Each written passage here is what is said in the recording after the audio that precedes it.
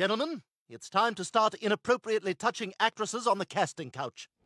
Okay, I have been made aware of the allegations. Is there anything you can say on your behalf? I'm trans? You just won HR.